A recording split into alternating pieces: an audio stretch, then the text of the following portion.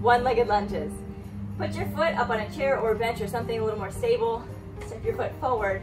Lean your body back, your torso over your back knee. So lower the back knee down, pressing through the front heel, keeping those abs engaged and your chest nice and high.